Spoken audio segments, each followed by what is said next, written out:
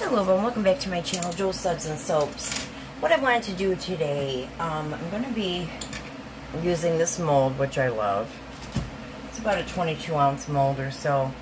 And the colors I'm going to be using is this blue, Caribbean blue. That's from Brambleberry, and this as well. This is a green. Okay, and then for the fragrance I'm going to be using this orange. Uh, it's really, really good. This orange fragrance oil from Nature Packaged. Okay, so I have here uh, 12 ounces, between 8 and 12 ounces of olive oil melt and pour base. And I have here about 16 ounces of shea butter. I'm going to melt these down 30 seconds at a time, and I will see you. Okay, we're back we ended up with this pretty blue, Caribbean blue, and this really pretty um, blackish green. And I'm going to be adding the fragrance oil in with this. Um, just in case there's discoloration happening. I don't want to get it in the white. I don't want the white to discolor.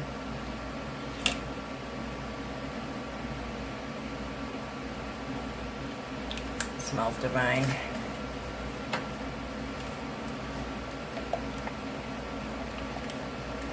You want to make sure you um, really mix up your fragrance oil very, very, you know, incorporate it really well.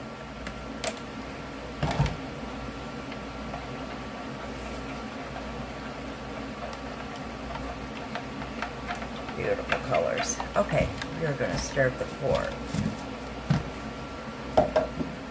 Spray it again, rubbing alcohol.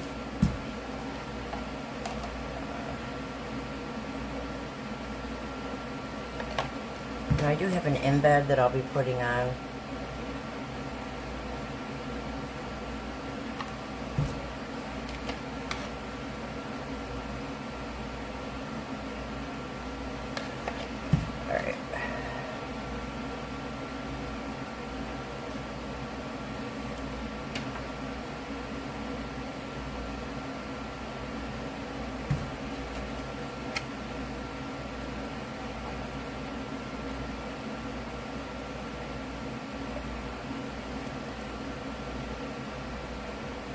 Such a pretty Caribbean blue that is.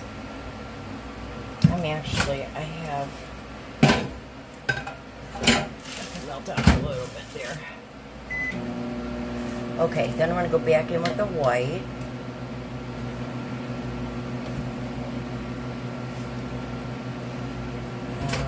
In. Oh, that orange smells divine.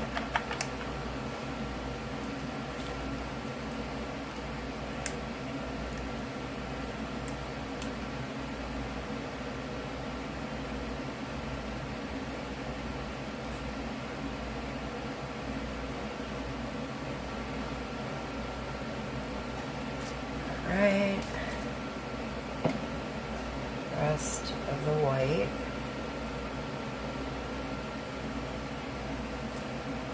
Alright, that is it. I'll see you guys in a couple hours, about two hours. See you then. Okay, we are back to put on the uh, embed. I'm just gonna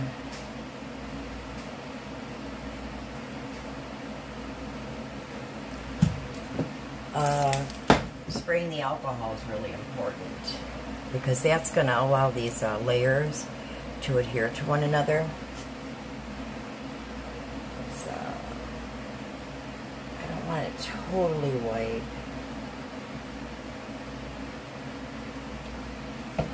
Alright, that is going to be it. I'm going to let this set. It's only been sitting for about, I would say, 20 minutes or so. So I'm going to let this set again for another hour and a half. See you then. Okay, we are back the unmolding.